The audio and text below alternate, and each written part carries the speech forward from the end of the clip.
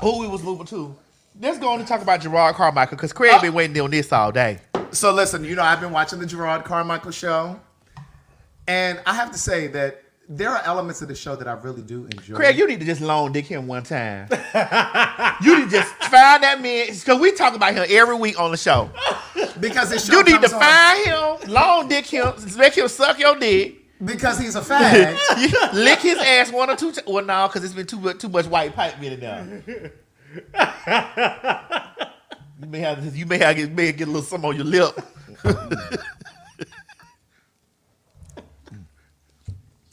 you may have Nestle Crunch around the mouth. it might be a little too peppery down there. No Nestle Crunch be all around there. Oh my goodness. Ah. Oh. But I love how forthcoming he is. I love how honest he is. To me, I feel like he has ripped the lid off of the gay community so everybody can look in and see what's actually happening. Mm-hmm. Like he's being very honest and transparent about his hookups on Jack. I mean Grindr. Oh, Grindr, because Grindr. because Jack is black. Right. He's on Grindr with the white. Jack is black. But I'm also Hold on, Jack is black. correct. Now over in Europe, girl, Grindr is mixed. Wait a minute, you were there? I was in France. No, no, no. I mean in Grindr. No, I was not on Grindr. Oh, I'm just trying to figure it out. No, no, no. I was not on That's was Grindr. like. You were there. No, no, I knew what you was. You were there. No, no, no. Oh, girl, No, no, I was trying to figure it out. No, I was not. But I was told that Grindr is more so for the blacks over there. That they don't really use Jack'd. Oh. The blacks. Jack'd is definitely active over there. Mm. But back to Jerrod Carmichael. Go ahead. Go ahead. I don't think that he has an attraction to black men. I really don't. And I've said this before, but it's become abundantly clear because there's a scene where he's he's on this road trip with his father, his, his birth father. And he's talking about, uh, well, you want to see my boyfriend? You want to meet my boyfriend? Would you want to meet him? And so he says, well, here's a picture of him right here. He's just getting out of the shower. I think that's too much. And I think sometimes as black queer people, we try to force that on our loved ones, namely our parents. I think you have to kind of allow your parents to come around. I'm not saying if they're abusing you and they're being nasty to you and they're telling you going to hell. I'm not saying all of that, but I do think that we need to leave space. We need to leave room for them to grow and to understand what we've just shared with them, whether you're trans, whether you're gay, whatever it is. Because it took me 22 years to get comfortable in my own skin. So how- Comfortable in my skin. Right. So I can't expect my mother or my family or my loved ones to be okay in two days. Bitch, it took you 22 years. And I just feel like he's pushing shit in his face. He was like, well, here he is, and the boy is in like these little thong underwear. Well, I think Who the it's- fuck wants to see that. Well, I think it's because he's so comfortable in himself. right. He's now. trying to make everybody get where he is. is. Yeah, you know. And I think that takes time. It's just kind of the same way here. Again, let, let me do Go this, ahead. Let me do this disclaimer. This is my show. uh huh. So yes, when we when we're having topics about things in the world, I'm going to bring it back around to me and, and and talk about my experiences with things. Just like with my mother, mm-hmm. my mother is still getting around. My mother birthed me. Yeah. I'm not over here policing my mama down like a dog, like this and the other, whatever. My mother birthed me. She gave me my name. My mother is in a great space of of she. I, I watch her now. It's she, her, her. You see Oh, it? I see it. And she says Madison. She says Madison. It's she, her, her. But if my mama want to call me boo until or she'll say girl. Oh, girl, if my mama want to call me boo until the day I leave this earth, I have to respect the fact that my mother birthed me for one, and then only, and then for two, my mother is going to protect me, whether she calling me Tim, T.S. Madison, motherfucking boo or whatever, because my mother is very much so. If y'all disrespect mine, mm-hmm. we got problems. Problem. Yep. And if mine don't want to go, and this is a family reunion, and mine don't want to go over there because y'all want to call her Tim, I'm not and y'all want to stay in those space, I'm not coming. Mm-hmm. You'll just have to see Boo on TV. Because my mother's extremely proud of me. Mm-hmm. Extremely. And those were her words too. Yes. Those You were her have words. you will have to catch Boo on TV. Yeah. You have to listen to Boo on Beyonce album. Because my mama tells me she look on Boo on Beyonce album. You have to catch Boo on Beyonce album. Yeah. You have to do this. This how you got to catch Boo. Because if we walk in the room and y'all Tim and Boo and Boo about face, I'm about facing with Boo. Uh huh. Yep. And so my thing is, when I came, when I told my mother that I was gay, I spoon fed her the information, and I just simply mean, like, once I told her, I left it alone. I didn't tell her, oh, I had a date. Like she might call me and say, well, what did you do this weekend? And I'd be like, oh, I went to the movies. Now it would have, it was a date. I may have gone on the dinner date. I may have gone to the movies, but I didn't throw that in her face. I wasn't like, oh, I had a date this weekend. I went out with this guy. No, I went to dinner. I went to the movies. I think some of y'all try to push Can I have your hand, Greg? My mother lives with me. Right. Mama, I got company. Well, well, that's what I'm saying. My mother knows now, and, and like, if Ma, I got company coming. But I'm saying in the beginning, I think in the beginning we try to rush them. Ma, I got company coming. You may hear some oohs and ahs. Some of it may be from me. Most of it may be from him. But I got company coming. Right. But that's a different, that's at a different juncture, right? In your journey. Honey, I have company. I just think that sometimes we do, we do, we, we push them too hard and too I need you to go in your room. have company. I'm about to fuck. Right. I'm about to fuck. What you about to do, girl? I'm about to fuck. I remember you said I couldn't do these things in your house, but now we're in mine. Back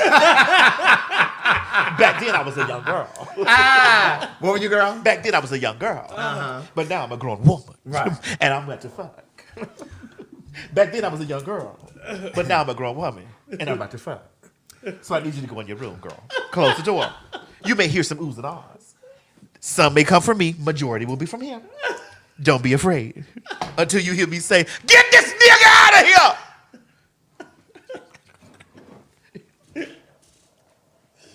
Now, when Gladys was at your house, honey, did you not have company? I sure did. Overnight company. and did you hear, did she hear any oohs and ahs? I don't know. She may have been listening.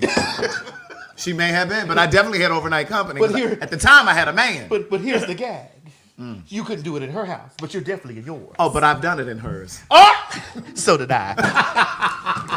I've definitely done it. Really? Really? All In that all that trash, and you still did it. Girl, I'm grown. Shit. I was grown then. Okay. Whoop me now. Okay. Right. Get you some ear earbuds, earbuds. Oh. But so anyway, in this episode, he's he's talking to his dad, and he's telling him that. But he says some really, really poignant things too. What it what where are they? Poignant. Is that P O I N? P.O.I. G N A N T? That's it. Oh. So here's the thing, like College. Right. So his mom and dad were married for like over 30 some years, and I believe they're still together. They live in the house. And Jerrod said, I don't feel accepted in the house, and I pay for the house. Because his mother is like this devout Christian, and she's always telling him about God and he's gonna go to hell, and she doesn't agree with the lifestyle. But girl, you living in his house that he's paying for. And his father, Jerrod says in this ep- episode, Dad, you had a whole nother family. For the majority of the time that he was with his, his mother, he had a whole other family. He had four children. The children went to school with Jerrod. Jerrod didn't even know that these kids were his siblings. The other kids in the school knew they were his siblings. Oh wow. So you mean to tell me his mother was okay and, able, and was able to stay in this marriage with his father, but she can't accept you? This is the shit we talk about all the time. Now you can overlook the fact that this man had four children outside of your marriage. But you can't take that he's a fact of a homosexual. Eh, listen, you already know how it goes in our community. Be everything but gay. Correct. We'll take you back. Go out there. You killed somebody. Come on home. That's right. But you, You just stole something. but you just can't get Come over the fact that he's a you gay. Oh, uh, uh You can't come. Don't come in here in my house with that. And so Do you know how you color sound and look, say- doing, saying, and doing and saying shit like that? So you mean to tell me you can gang bang, you can rape, you can kill, maim, and destroy, and you are welcome. You you can come on back to the picnic. Don't you bring no man in this house. Don't you be gay. Don't you do that. You done. God don't like that. That's right. But he don't like all that other shit either.